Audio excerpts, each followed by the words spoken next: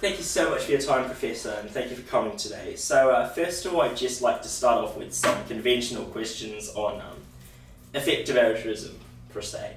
So, one of the most popular attacks on EA, per se, is the claim that it is excessively focused on the individual and doesn't necessarily talk about structural level overhaul or structural level changes, because precisely for its need to emphasize that the ability for every individual to do something that might ironically also neglect the prospects for collective sort of unionization or collective movement on the part of individuals in overcoming these problems in society. Do you think that's a fair critique of EA and what are your thoughts on that in general? I suppose it's um, understandable that people would uh, make that critique given uh, a lot of the emphasis of what people in EA should do. But there's no necessary connection uh, between the fact that you're appealing to individuals and saying, what should you do, to saying, and what you should do is help other individuals and not change the structure, right? Mm. Because it might be that what you ought to do is to work together with some large group that is seeking to change the structure. If, if that is what gives you the best chance of making a difference, in other words, what gives you the greatest expected value from your actions. Now, it remains to be seen whether that's so. And some people would prefer the fact that they can, with high confidence, um, save lives or restore sight or um, in other, other ways improve the living of people in extreme poverty, rather than that they can take a long shot chance on changing some big structure which will help millions of people. But that's entirely open to looking at the evidence. I think that's very fair, although I would observe that perhaps the pushback against that is that suppose that I think or I operate under the expected probability subjectively that no one else in society would be willing to undertake, say, a particular action P that translates to if 100 people do it, a structural level change, and therefore I don't participate in it. And it is precisely because of that subjective expectation of others not participating in it that I also don't engage in it. And when you think that the logic you propose just then has a potentially self-effacing element to it, in a sense that if everyone starts thinking in that sort of expected or subjective expected uh, utility you end up with a world where folks defer to what they think is most likely, and that's why none of them ever partake in these arguably more radical actions because they don't expect others to be willing to jump on board as well. Well, but that just that, that that's not to do with effective altruism as such. That's to do with the situation um, and the fact that it's difficult to organise people if people think that the chances of success are low. Um, so I think that's a, that that's a fact about the world, and, and maybe it only shows that you need to work harder to convince other people that there is a real chance that if we all work together, we'll have this big change. Because I think that's a very fair point. Because one of the pushbacks, I guess, to that is the feeling that when you speak excessively in terms of expected utility, you might neglect the prospects of, say, the indeterminate uh, room for moral imagination, where you might actually be, it might be a good thing that you hypothetically expect to be a greater chance than there actually is at certain projects or particular ventures succeeding in order to get people to jump on board into the first place. The case in point might be startups or joining into particular charity relief effort where realistically you need hundreds of thousands of people to like save or stop a particular village from starving but in the absence of being told that there might be a high chance of that succeeding the, as the end goal people might just not sign up because they don't think they would be the one that contributes marginally significant effort or utility in that case Yeah, I have to say that observing movements over the last few decades, I don't see that. I see people willing to sign up to things that have very small chances. Um, for example, a lot of effort has gone into the Occupy movement um, with very little return. Um, so people were willing to sign up for it despite very low expectations of, of success. Um, arguably, people's bias goes the other way. They're more ready to sign up to do things collectively because they want to say, hey, I'm part of this movement, I'm one of the good guys. Um, and in fact, it'd be a lot better if they spent their time and energy helping individuals. Um, because, they, you know, in the case of the Occupy movement, I think a lot more would have come out of it, in fact. I think that's a fair point, and, and I actually think that critique you had about this the fixation or fetish of fetishization of working in cohorts or groups seems to be a phenomenon that's playing out across some manifestations, not all of them, but some versions of effective altruism movements in certain countries or regions of the world. And there's an allegation that like the EA movement has deviated from what you originally intended for it to, to look like and be. Do you think that's a fair characterization? Or? Um, there are parts of the EA movement that have moved away from the concrete issues where we clearly can make a difference, like global poverty, to um, to what's known as long-termism um, and existential risk. Um, uh, like I think those things are important. I don't want to say nobody should work on that. Um, yes, I, I do think that perhaps the EA movement has moved too far, and, and arguably there's now too much in the way of resources going into rather speculative long-termism. Um, when I would like to see just a bit of a, sh- a shift, swing back of the pendulum. I, I, wouldn't like to see people stop working on existential risk, but um, I think yeah, there are there are more concrete things with where I would like to see the EA movement focus a lot more. In part because I think it'll bring in a lot more people. I think if we continue to focus on long term things and concern ourselves with the possibility of AI taking over in a uh, malevolent way, um, it's going to be a very narrow movement. There's a very limited number of people who are really going to commit their lives to that, uh, as compared with the numbers that might commit their lives to helping people in extreme poverty or trying to reduce the suffering of animals in factory farms. Um, you know, those more immediate sorts of issues. Do you think that following from that, that your sort of distinction or preference for focusing on current issues is a more sort of pragmatically rooted one based on the ability to appeal to individuals is in a more sort of substantively normative commitment that you think present generation sufferings or the suffering of present generation ultimately matters to some extent more than future generations in that extent? Uh, I think it's more pragmatic, really. Um, I, I certainly don't hold the view that present generations matter more than future generations per se. Mm. Um, clearly, there are discounts for uncertainty when you get into the future, and the further into the future you get, the greater those discounts. Um, there's also a question, a, a, difficult normative question that I've not fully resolved my views on as to how great a tragedy it is if um, there aren't future generations, right? So, in other words, I, I'm, I'm pretty clear that if there's a sentient being X who exists in, let's say, 2500, um, the, the well being of that sentient being is just as important as the well being of someone existing today. Um, now, as I said, you discount for uncertainty, mm. but if, we, if, we, if we're postulating that, that being will certainly exist in 500 years' time, there's no reason for discounting, you know, pure time discounting. Um, but uh, if, if it's possible that the, that being simply will not exist at all, mm. um, and therefore will have neither happiness nor misery, does that count as, is, is that as bad as if uh, a being who is existing and is happy now um, does not exist for the same number of years as that being would exist. That's that's the difficult issue for me. That so that's really the asymmetry. If, I'm right about that, that's sort of it's a, it's a kind of asymmetry. That's right. Um, the asymmetry of the not bringing future beings into existence who could be happy, as compared with um, the wrongness of beings who definitely will exist who will be unhappy.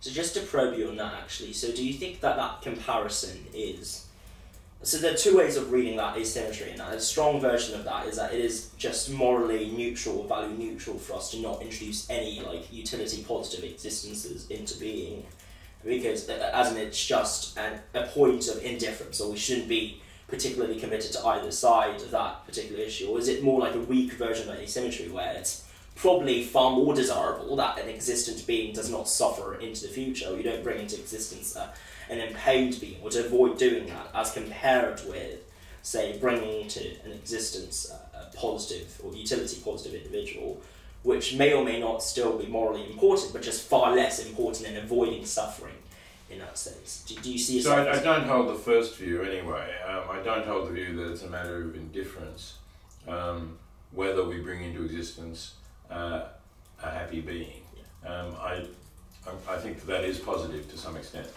Um, what I'm not really sure, you know, it's difficult, I think, to find a, a clear, coherent view that doesn't have pretty strongly counterintuitive consequences is uh, whether bringing into existence a happy being is just as good as um, changing an existing being's life, mm. let's say from neutral into into a happy one. Um, uh, you know, I, I, have, I guess, in, in terms of trying to find a coherent, consistent view, a total view, which does imply that it's just as important to bring happy beings into existence as to make existing beings happy. Um, does uh, you know that that's a coherent and consistent view? It um, can lead to the well-known repugnant conclusion, which um, you know I most people would, would prefer to avoid, but on the other hand, probably you know more than most people, I'm willing to accept counterintuitive uh, implications. So maybe that is still the best view, but um, I, I haven't given up on the idea that there's a coherent alternative view.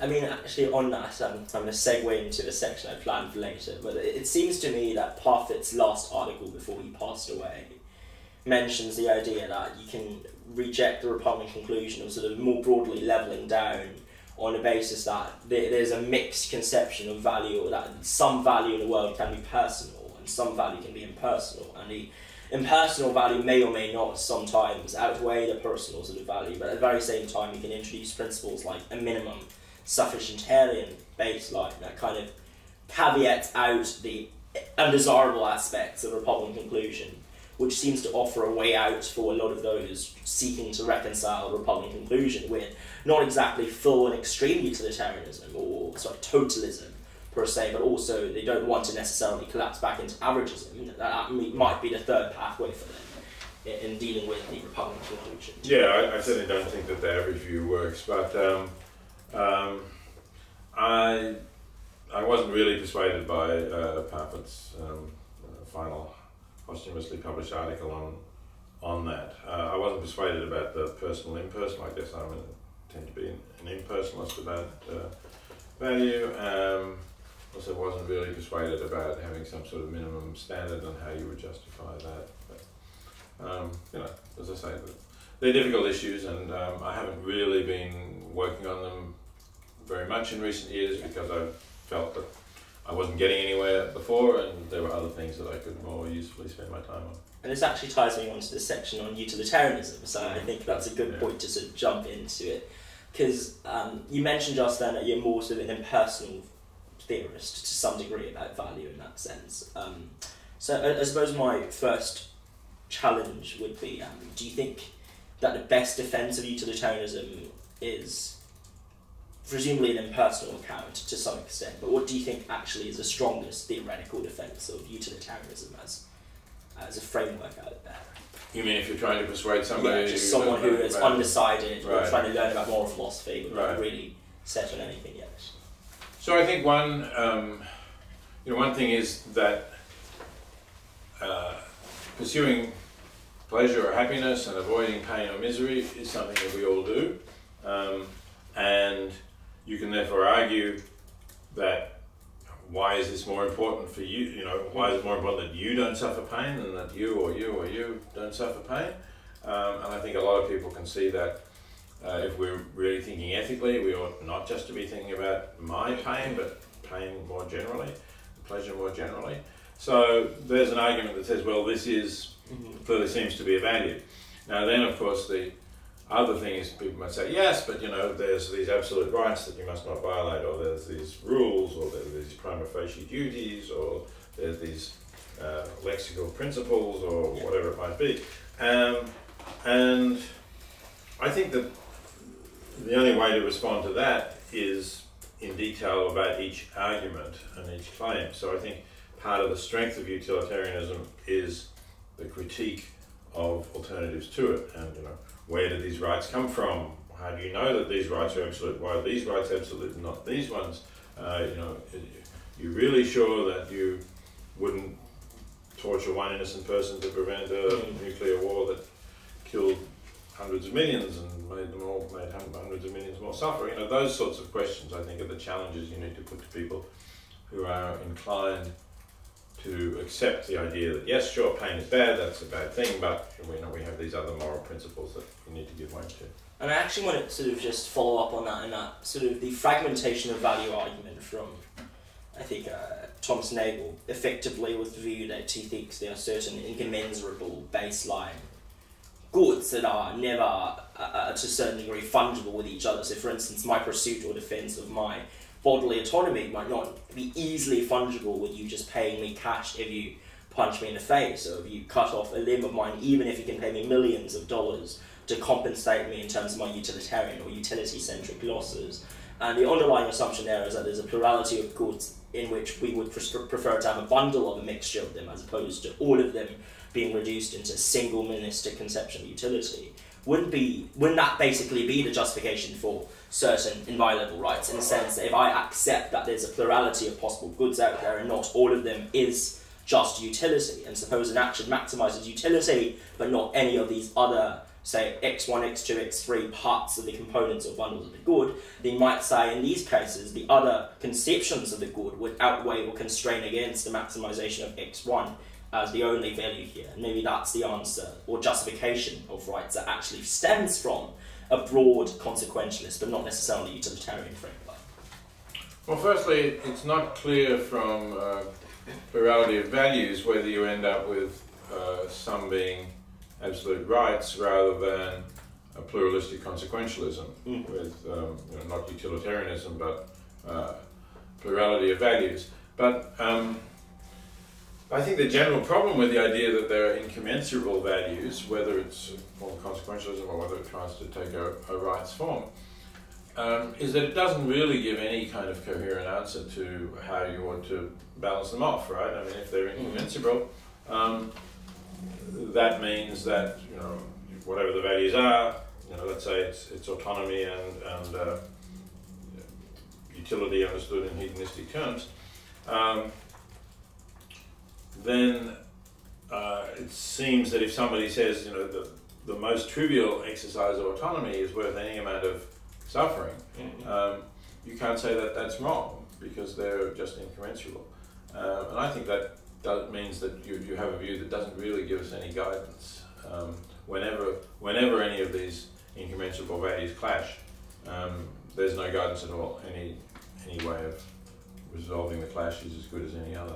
I suppose a modified version of that thought would be a claim of sort of underdetermination in that. I accept what you said about the sort of deadlocks and a standstill, and you, when you accept incommensurability, you can't necessarily compare across values, but it seems that of all these base values or base conceptions, or that you can reduce or collapse these conceptions of good into, there seems to be a plurality of choices you can choose from. So you can have, say, reduce everything into the currency of utility and happiness, or you reduce everything into terms of autonomy, or even if you're more sort of into the the conceptions of like trying to integrate Kantianism into consequentialism, you might say actually it's a preservation of dignity and autonomy that is maximally important in happiness. And it seems that there's always a way for me to describe a trade off within another framework to base currency of utility that is equally as viable as utility as that base comparison unit. So I suppose that's the modified version of this question. Mm-hmm. Now, don't you think there's an indeterminacy problem, and therefore maybe utilitarians would want to do a bit more than just to say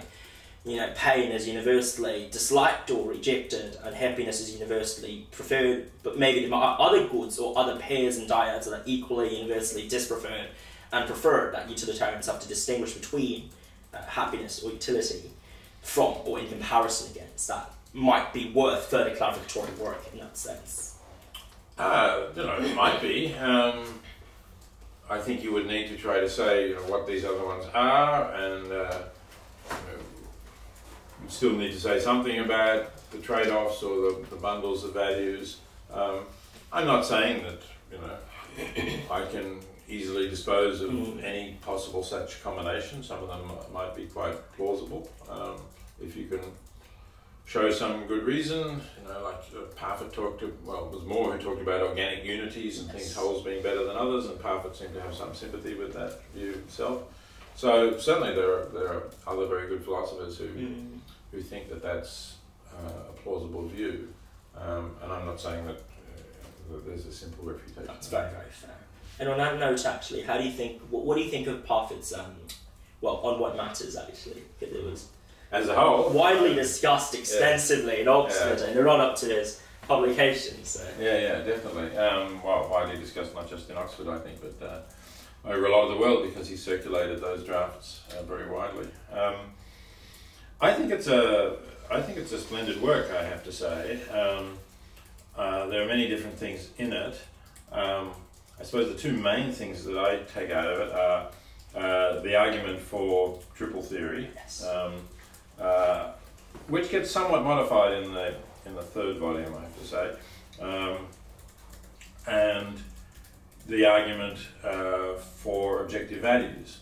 Um, and I think actually that the argument for objective values is a, a, a greater achievement. I think Mm-hmm. I think that's a really powerful argument, and I think uh, Parfit has challenged a lot of other philosophers uh, who assume that there aren't really objective values in the strong sense that he wants um, there to be objective values. Um, and uh, talks about the importance of this uh, with this claim that uh, you know, his life is meaningless and uh, your life and my life, I guess, is also meaningless if there are no objective values. That's a, a strong, challenging claim, which a lot of philosophers have rejected. Um, but I think he's, he's done something to to recenter that debate. So he's, he's shifted it over and put more you know more of a weight on the side that says you know yes we can defend objective values uh, and put more of a challenge to those people that he criticises. So that's that's I think a big achievement. Um, the triple theory I think is interesting, and I think along the way there are some really good things in that. I really like the section on, on Kant in which he argues that you know there's really to be defensible, Kant has to give up a lot of the things that a lot of Kantians would, would say really are true to Kant. Um, uh, and there- there's there are good specific arguments there that I think Kantians need to, to grapple with. Um, I um, I was troubled by the fact that act utilitarianism seemed to drop out of this, that it was a form of rule utilitarianism Yeah. that was part of the triple theory. But then, I, uh, in correspondence with Parfit, I was able to clarify that he hadn't really intended to say that act utilitarianism is in any way refuted, but rather that he hadn't brought it in to that triple theory. And then in the third volume, he tries to show that perhaps the differences between act consequentialism and triple theory are less sharp than you might have thought. Um, and I'm not, I, I, I don't think that's his best work, I have to say. I'm not really convinced by that. Yeah, I think we'll get on to sort of that meta-ethical question um, in just a second. I'd like to sort of probe your thoughts on how you take your work on ethical and moral theory and apply it to, say, political obligation and political debates. Because one of the works I read of yours when I was doing my preliminary exams in PPE was um, your work on quasi-consent uh, in It's a 1972. long time ago. Yeah, it's a very long time ago, but I, I I really liked your thoughts on that. Actually, I guess my only concern or question um, after reading that piece is like, would there be a possible explanatory gap between? So, so your theory effectively is that if indeed it can be reasonably expected or, it is reasonably understood to be the case that these other folks within your political community are adhering to a similar set of political rules, the electoral game, and they respect the decisions of the elections in general, they partake in it, then it could be reasonable for you as amongst them to expect that they respect or adhere to the decisions of that end outcome of that game. So you, you quote the legal doctrine of Estoppel as sort of the, the parallel analogy for that. My, my only thought, well, two thoughts is the first one is might that not be a case where we're conflating the reasonableness for me to expect compared with the objective reasonableness to actually expect that person to adhere to such an expected obligation. And a subsidiary concern from that is maybe it's just supererogatory that they adhere to your expectations and what is reasonable for you to sort of expect them to do, but not necessarily morally obligatory, which means that there's still a bit of an issue with justifying obligation in its fullest extent there. So what I'm saying is we're, we're, going into um, uh, something, in this case, let's say an election, with a reasonable expectation that others will abide by that result. Um, and given that, there is a prima facie obligation, not an absolute one, for me to respect the result as well. So you're I'm trying to see where the, the gap that you're opening up is from from from the, the fact that we're going into this activity with this expectation to the idea that there's a prima facie obligation. Yes, I think it's like, um, say the two parties, A expects, reasonably speaking, that B adheres to the rules of the game and accepts the results of the election and the vote. Uh, I think there's a gap between that and saying B actually has a substantive normative obligation to respect the results of that Right. Okay.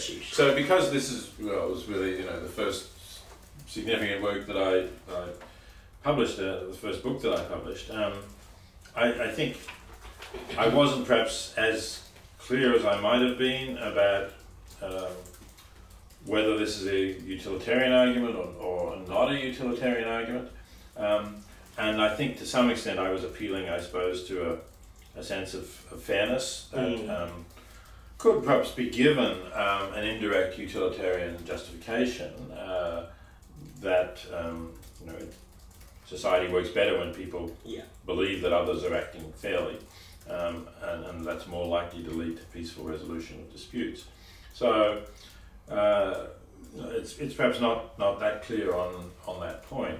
Um, I think I could say, you know, thinking now as a, more as a straightforward utilitarian, uh, that uh, it is very valuable that we solve disputes in politics Yeah. peacefully rather than violently, um, and that uh, if you take part in the in the process, and if indeed it's true that others expect people to abide by that verdict, um, and then you don't, then that's likely to lead others also to, Yeah. to have recourse to violence, and it's likely to weaken the sense of a commitment and an obligation to support that outcome. So it seems to me almost that the argument there is kind of reminiscent of um, Bernard Williams' political uh, realism claim in his article where he rejects political moralism and argues that the first and foremost assumption of this state is a question of well, we assume presumably that the state exists and that it is a question of political power and that there is a need for us to consider how political communities get together and assemble. So in practice, what we really should be talking about when we're talking about legitimacy or questions of ethics pertaining to the state is, is to do away with the logic of or the language of political moral, uh, moralism altogether, but instead focus on the political dimension and nature of questions where everyone has to live together and you have a society. Now the question is how best do we maximise or like ensure the stability of that arrangement? Uh, and I suppose my question is how do you feel about that conception of like say political anti-moralism? Well, I don't. The trouble is, I don't see it really as anti-moralism because if the question is how best to do this, then of course you have to say, well, best by what standards?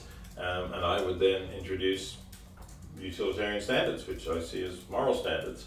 So I don't think it it, it, it can't be pure political realism uh, in the sense that political realists often mean it. That is to say, well, we're just talking about you know, nations following their own interests or communities following their interests or whatever it might be. Um, there is an underlying moral theory, I think, normative theory. And do you think utilitarianism is the best sort of general governance, what the theory for establishing legitimate governance? Do you think that's I think it's in a very strong position because um, it's it, you know it goes back to what I said earlier. It is something that we can all that we can all agree on. Yeah.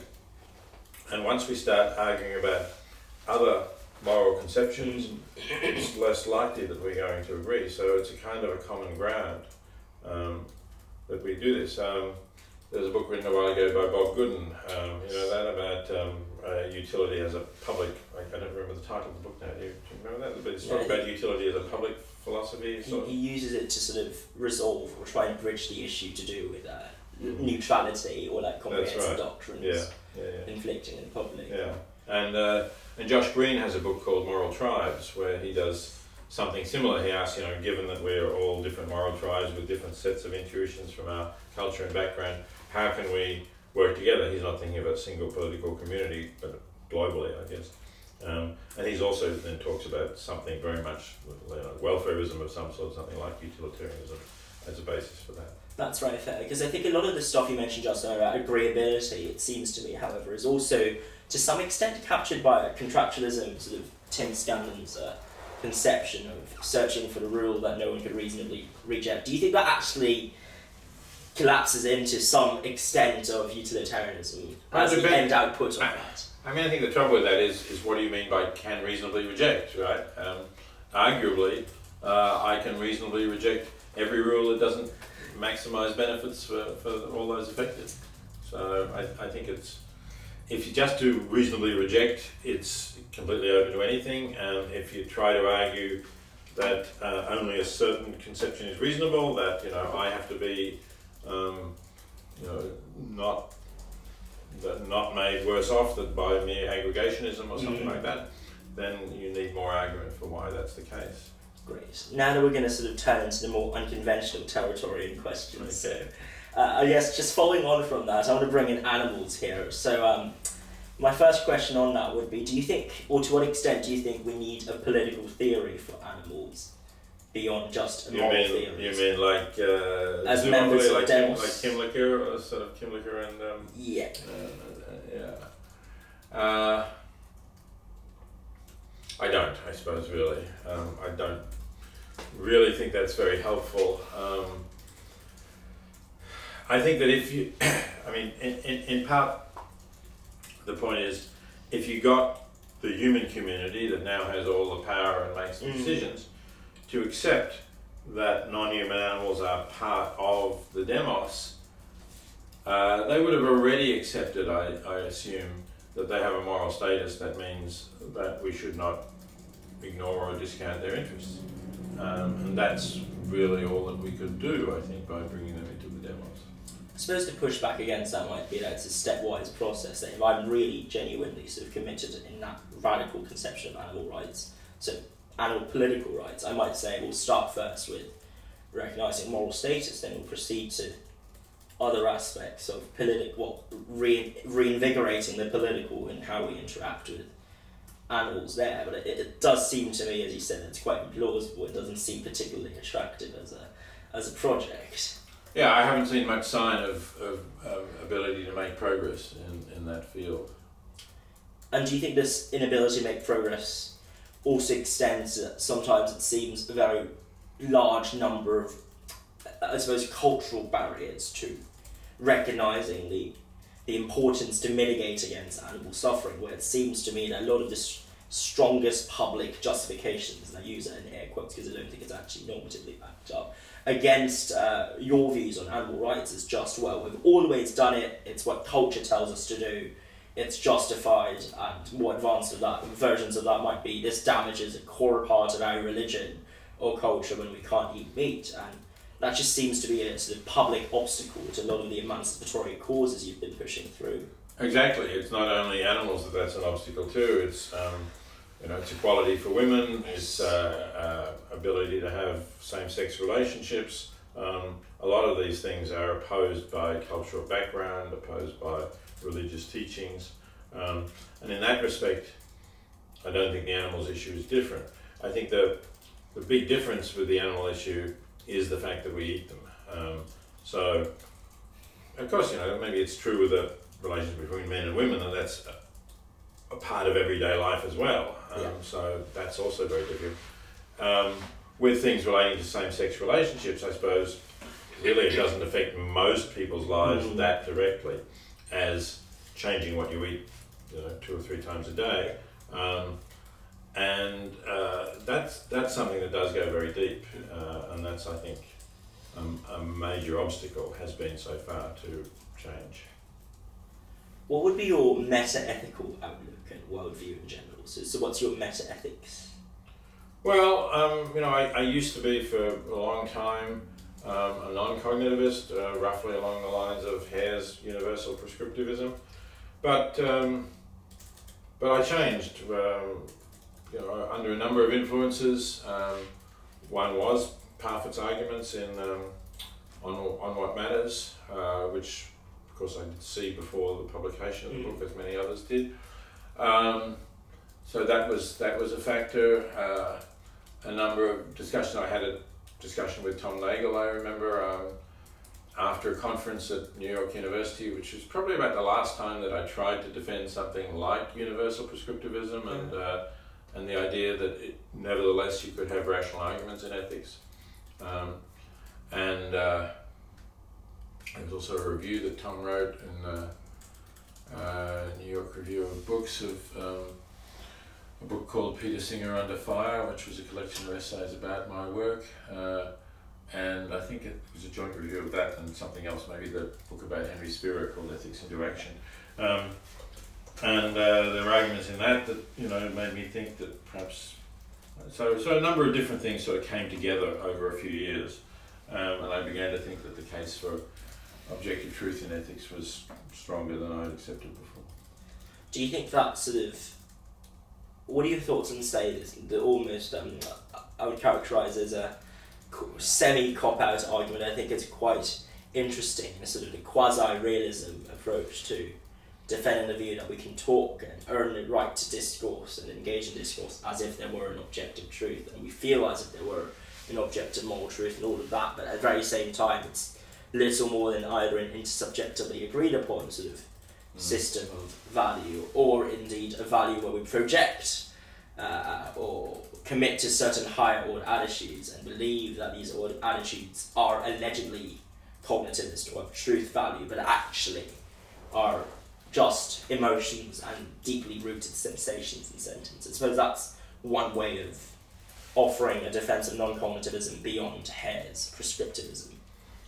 Yes, it is, um, but but is it a cop out? Is is it fundamentally different? Um, you know, you use the term projecting things onto the world. Well, you know that of course Mackie talked about projectivism um, in, in his critique of objectivism, and I think in a way Mackie was more uh, honest and direct than quasi realists in uh, saying this because because if it is just the way we talk, then um, it's open to, to challenge that and say, hey, I don't want to talk like this. I think it's misleading. I don't think we should be doing it. Um, um, and I think we should be more open about being moral skeptics, uh, as Mackie was. Um, I don't think the quasi-realists really have a sound answer to that.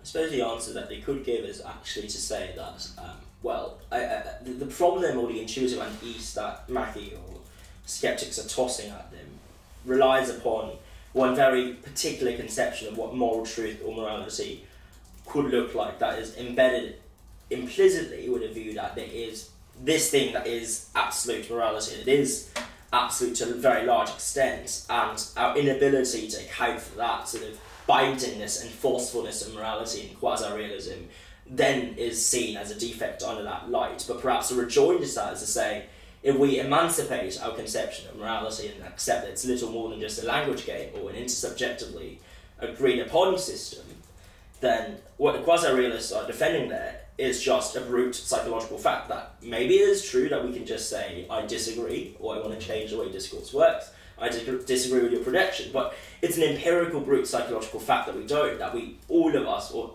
a largely an extreme majority of us, find murder impermissible. And social intuitions are changing and altering and, and bending at the very same time. They're fluid, and it is that shift in deeply rooted intuitions that also change the contents and landscape of moral truth in that mm. same manner. Yeah, um, just just one thing about when you started, you used this term absolute. Um, I don't think saying moral truths are objective um, is the same as saying that they're absolute, and I think that can lead to confusion, right? Because, because often people mean like an absolute moral rule, you must never kill an innocent person, right?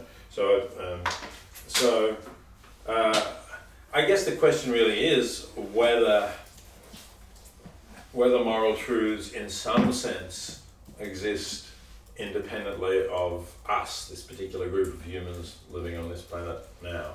Um, and, you know, of course, you know, Mackie rejects the idea that they could be part of the fabric of the universe and points out, as you say, how mysterious it would be that they could have this normative force. Um, but but Parfit's argument was that, well, they could be truths of reason in somewhat the same way as mathematical truths can be truths of reason. And he didn't like the idea that they're uh, part of the furniture of the universe, and that's why he didn't like the term um, realism. Mm. He didn't call himself a moral realist, he called himself a, a non natural objectivist um, because he wanted to get away from that idea. And you know, I think moral truths might be might exist in the sense that suppose that uh, we were wiped out by one of these existential catastrophes, there was yeah. no life on Earth at all. Um, but somewhere else in the universe, uh, there are other rational beings, um, beings capable of thought, capable of understanding truths of reason. I think that they would eventually develop somewhat similar logics to ours, somewhat similar mathematical systems to ours, and I think they would also be able to see that suffering is bad, happiness is good, and that it's possible to take this broad point of view from which it's not just when I suffer that it's bad, But when any being suffers, that's bad. So it seems to me that actually it's what you're talking about there is an expanded conception of like mind dependence or some some degree of um, response dependent account where it's not humans' responses, it's just any cognitive beings capable of moral reasoning and moralistic rationalization becomes sort of the initiator or the member of that hypothetical community, Mm. and to the extent this community exists, then there exists morality in response to that community's objective existence. But I suppose my question is, doesn't that actually tell more for uh, some degree of non-cognitivism still? Because if we accept to some degree that the existence of morality is conditioned upon these folks' thought processes and thinking and minds and what they believe in, then isn't that just as much likely to affirm a an emotions based or very deeply rooted sentiments based or attitudes based account of morality? No, I don't think so because I wasn't presupposing any particular emotions or sentiments. Um, and you describe it as a non-cognitivist view, but it's but it's it was the cognitive capacities of these beings that I was emphasizing, the fact that they're capable of reasoning, not the, not the fact that they, they would have certain emotions. Right, but presumably you can be cognitive beings that produce non-cognitivist mental states, and it's the mental states that matter. So, so you can imagine a world where all of these beings can feel, can interpret, and engage the world, but at the same time they have no conception of such a thing as moral judgments. They don't resent anyone. They don't have moral attitudes. They don't. They just don't think morally at all. Then it seems very hard for me to then be persuaded to say there is morality in such a hypothetical world because just because they think in a cognitive manner doesn't mean they are. But I'm no, but I'm making a somewhat different claim, and that is that if they can think in a cognitive manner and they can put themselves in the position of others and see that uh, the suffering of others matters, Mm. then if someone uh, wantonly and for no greater gain in happiness or, or reduction of suffering inflict suffering on someone else, there would be some sort of negative response, right? Now, I'm not sure, you know, whether you want to call it an emotional one and could see it as a kind of cognitive dissonance, right? That idea. Um, so, possibly I'm saying that, um, if you like, it would necessarily give rise to some emotions. Um, maybe that's the claim. But certainly the claim is not that beings evolve with certain emotions and therefore No. you get morality um, ind- independently of having that cognitive That's very fair. I think where we could probably disagree upon is just to what extent do we think that having cognitive capacities naturally or to some extent causally entails or causes you to actually then develop those spontaneous natural Mm. reactions that are, I think, Right. pre-moral to some degree. But I- I'd like to sort of jump onto intuitions in a very different limelight because it seems to me that a lot of your works and your defences in, saying um, well, your most seminal article in many ways about uh, famine, affluence, and poverty, it, it deals with the fact that intuitions are largely unreliable in many ways because of our existing status quo bias or sort of the, the later works from other theorists that supplement your view there. But at the very same time, the way I read your sort of um, drowning child analogy and example is I think this is probably one of the best, in my opinion, that is thought experiments out there because it pumps out the intuition in me that yes, I should go and save that child who's drowning. So I, I- feel it feels to me that at the same time you're not a pure skeptic towards intuitions, but you're also not a pure advocate of current intuitions. So, so the way I read your work is as an intuitionist, expansionist, or liberationist trying to change our intuitions and to change the way we look at the world. Do you think that's a fair diagnosis, or do you think you're just generally skeptical of ethical intuitions? Look, I, I think it's a fair diagnosis in the sense of it's, it's a fair reading of the article if you take that article um, on its own. Uh, I think that uh, the article clearly does appeal to that particular intuition, and then it invites the reader to say, okay, if I agree, I share the intuition that it would be wrong to walk past the drowning child in the shallow pond. Um, is it am I doing something similar when I don't help people in uh, who are in great poverty, dying in other parts of the world? Um, and uh, so it allows that that sort of argument. And of course, if that's true, then if somebody says, ah, okay, so now I understand the consequences, I guess that it wouldn't be wrong for me to let the child drown in the pond. Um, then the article, the, uh, that part of the argument collapses clearly, right? It needs a different argument to show that it would be wrong, um, and maybe a, you know, a general, more foundational Yeah. utilitarian argument would show that. So, um, in the end, I think I could, you know, to, to bring that article within my larger framework and my views about intuitions, what I could say is, well, this is an article that is written to try to persuade many people to think more about what they should do for people in extreme poverty, and it's likely to work because most people will not want to reject the intuition about the drowning child in the pond. But I admit I haven't defended that intuition in that article, uh, and if somebody were to say, okay, so I reject the intuition, uh, I would need something different. That article is not. So Not more generally, do you think we should strive to limit the extent to which we use intuitions as a methodology in argumentation in philosophy, or do you think intuitions or pumping intuition still is a valuable and important aspect of doing philosophy and I think it's a valuable and important aspect of doing philosophy because it often um, provides us with a sense of, um, oh, I need to think more, right? So here I have this intuition, but then that leads me to this consequence. Didn't really expect that consequence, don't think I like that consequence, something's gone wrong. And that, for very many people, um, is the initiative, the push that gets them into thinking ethically and philosophically about ethical issues. Um, so yeah, I, I'm not saying that we shouldn't use intuitions in Mm. argument, but I am saying that uh, we we should use them with an awareness that um, they are not simply data. They are not just you know. It's not like a scientist who says you know, ah yes, I've seen the star in this position and Yeah. uh, you know whatever. Um, it's it's something that we we may actually end up rejecting. Uh, you if, the, if the arguments are strong enough, um, they are, as you said, they're formed in a whole variety of ways. There's a whole lot of critiques of them. There's there's deeper psychological understanding of where they come from than um, there was 20 or 30 or 40 years ago when I first began working in philosophy. Um, and uh, in particular, understanding that many of them may have an evolutionary origin and that that evolutionary origin does not justify them, but to some extent, at least in some circumstances, may di- discredit them or debunk them. Um, I think those those things are um, important uh, tools that we have to use when we use intuitions. We have to become aware of those. And I think that's that's that's very fair because actually we delve into the sort of discussion about the classification of what constitutes good or utile or desirable intuitions and not. You mentioned evolutionary psychology as a criterion or sort of evolution as genesis of this being a potential for disqualifying in some limited circumstances the intuitions that come from that.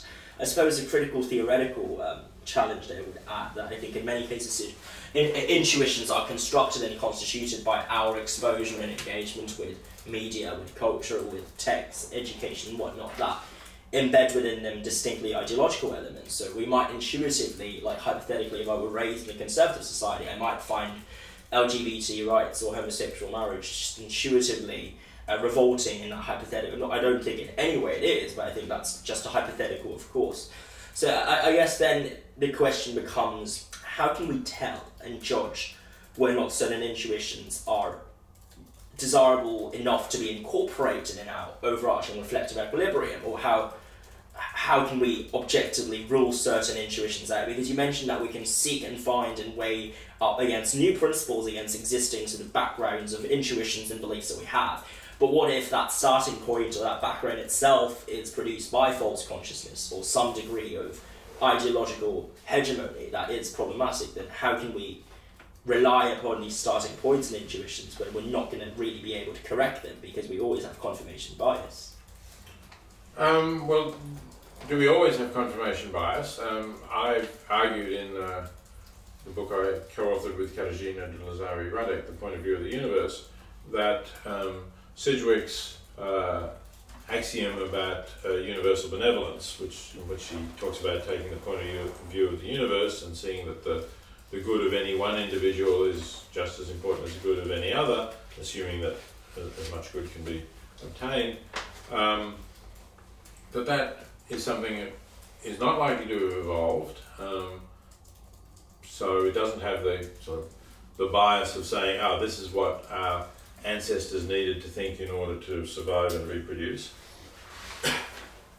and it doesn't. I don't think it has an ideological bias. I mean, some people have tried to argue with me that it, I don't know, that it comes from a sort of a, a Christian or Judeo-Christian perspective that other cultures would focus more on the importance of your own family or something of that sort.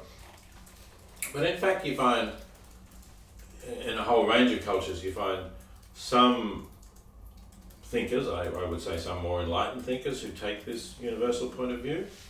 Um, so it's not really, excuse me, it's not really restricted to any one culture. Uh, and it doesn't seem to serve any rich and powerful ideology. Um, so I, I think that that is a foundation that we can use to criticize some of the more particular Mm. intuitions that we have that might, sorry, um, that might well have been uh, the result of the culture or the ideology.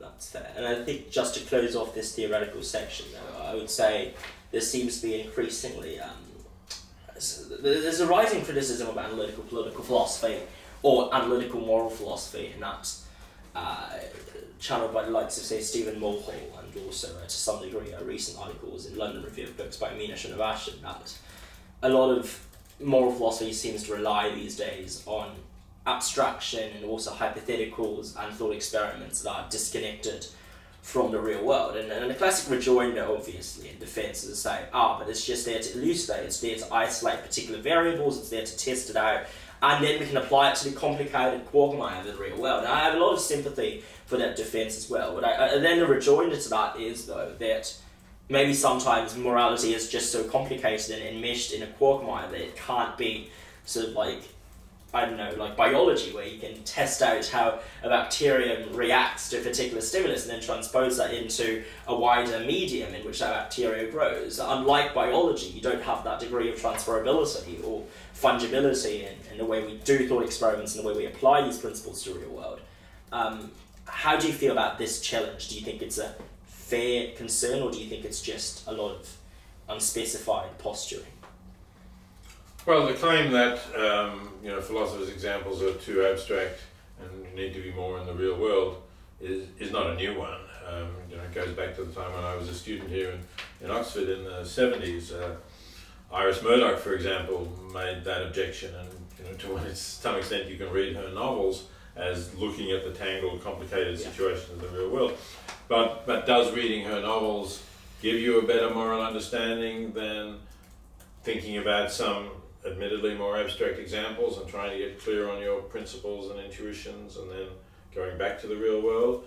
Uh, I actually don't think so. Um, I, I don't know anybody who says, you know, really thinks the way to solve moral problems is to read a lot of novels about complicated moral situations because, you know, in, in a sense, that's almost giving up. It's almost saying every situation is, is unique. You're never going to get to the same situation, so you can't learn anything from this uh, to that.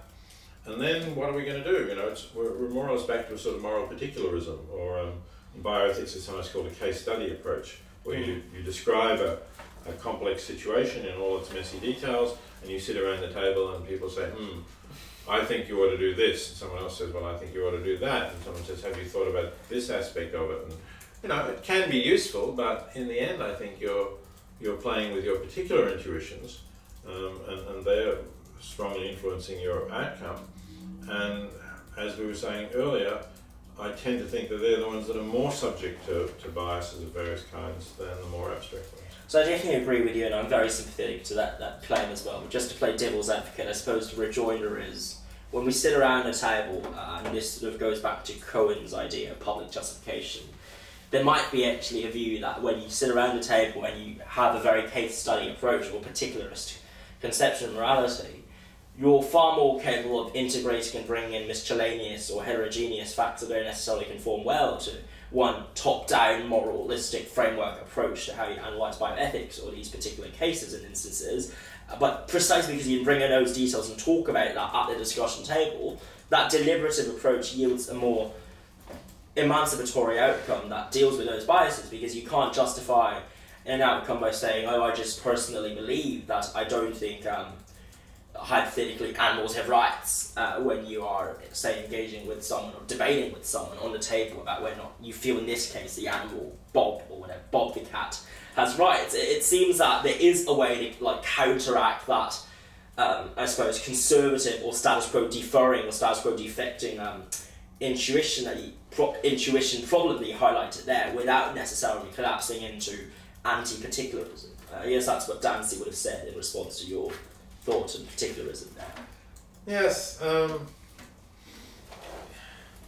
yeah, I, I don't know that I can say a lot about that. Um, simply, I'm not convinced that that's so. I've, I've not seen discussions of that type that really have convinced me that people are free from particular biases and just bringing in certain principles that they're not really being forced to examine very closely. That's very fair. So I'm going to move on to uh, the final sort of two questions very quickly. Uh, what were your favourite memories at Oxford as a student? Like, what, what, what struck you as the most memorable part of your experience as a BPhil student here?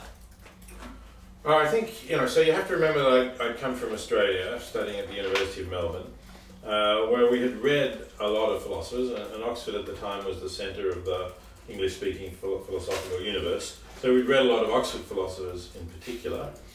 Um, but you know, Australia being far away and travel being relatively more expensive than it is now, we, we hadn't really seen uh, many of these people. Occasionally somebody had come through.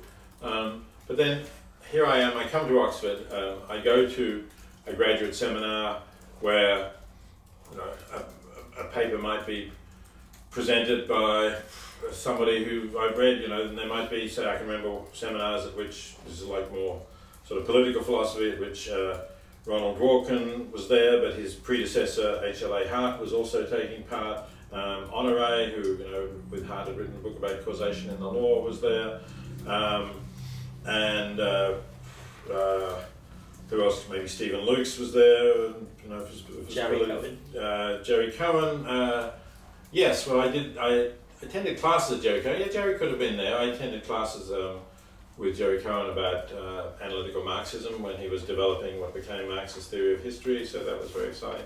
So there were a lot of this um, going on. There were a lot of, of, really interesting work. And I should also um, say a special mention, this is rather different because this is someone who I'd not read or even heard of before I came to Oxford.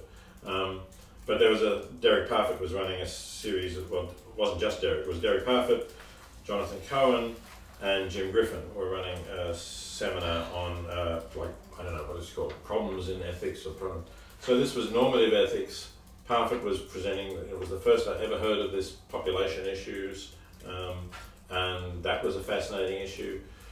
Uh, Jonathan Cohen was reading, I think, a paper that became something like "Does it make any difference whether I do it or not?" The one about the um, ah, yes. the one about the, the bandits who come and take one bean from yeah. from a hundred bowls from the hundred visitors and so on. Uh, that was a brilliant paper. Um, and I don't remember exactly what Jim Griffin was presenting, but, but it, it, was a wonderful seminar, and it really um, was more exciting in terms of normative. It was it wasn't then called applied or practical ethics, but it was getting close to that um, than anything that I had seen in Melbourne. That's awesome. And what parting, what words in general of wisdom would you give to someone who aspires to become an academic philosopher out there, or or a public philosopher? Uh, well, I you know it's it's it's not an easy field to get into. I think it's got harder to get into nowadays than it was uh, when I was here.